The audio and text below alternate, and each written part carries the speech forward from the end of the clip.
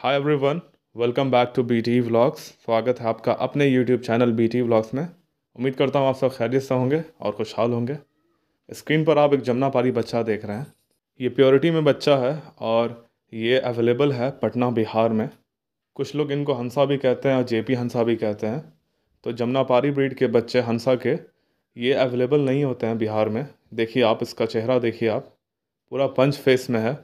कान लंबे लंबे हैं। पूरा झालर पीछे लटक रही है। क्वालिटी में बच्चा है और क्वालिटी वाली चीज़ है। बिहार के इन्वायरमेंट में सेट बच्चा है और खाने पीने वाला बच्चा है। खाने पीने में काफ़ी अच्छा है। मैंने सामने से देखा है, बच्चा बहुत खूबसूरत है। देखिए आप, अभी अंडू है और इसकी उम्र जो है लगभग तीन, साढ़े तीन महीना या चार महीना होगी। काफ़ी छोटा बच्चा है। आप चेहरे से देख पा रहे होंगे। किसी भाई को अगर एज अ ब्रीडर भी चाहिए ये बच्चा तो वो ले सकते हैं। या कोई शौकीन आदमी है इसको खस्सी बना के पोसना चाहता है तो वो भी पोस सकते हैं। काफ़ी खूबसूरत बच्चा और शौकीनों के लिए तो बेहतरीन चीज़ है।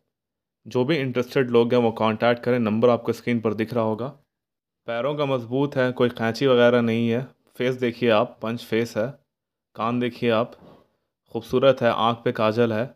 अच्छी चीज़ है और पोसने वाली चीज़ है।